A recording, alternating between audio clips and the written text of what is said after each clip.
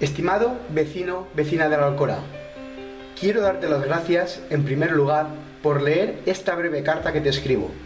Mi único objetivo es informarte que el próximo 25 de mayo son las elecciones europeas. Por tanto, estamos todos llamados a elegir al próximo Parlamento Europeo. Sé que estás pensando que las instituciones europeas están muy alejadas de los ciudadanos. Por eso he querido escribirte esta carta para recordarte que cada decisión que toma la Comisión Europea tiene una repercusión directa en nuestro día a día. Y es que más del 70% de los problemas que nos encontramos diariamente, su solución pasa por Europa. La derecha lleva 20 años gobernando Europa y las consecuencias de sus políticas ya sabemos cuáles han sido.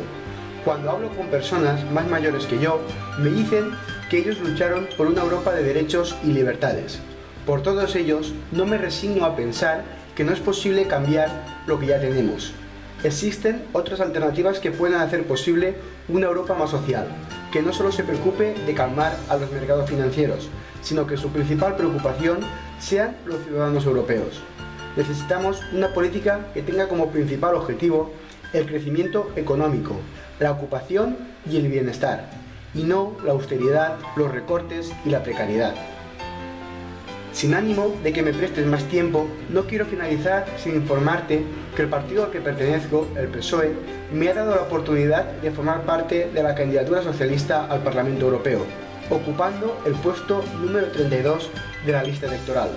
Sin duda, es para mí un honor como alcorino formar parte de una lista que tan solo componen 54 personas de toda España. Actualmente, mi mayor compromiso lo tengo con mi pueblo, y así seguirá siendo pero ese compromiso y responsabilidad también incluye cambiar Europa y construir la que realmente merecen mis vecinos y vecinas. Un abrazo, Samuel Falomir Sancho, candidato del PSOE al Parlamento Europeo.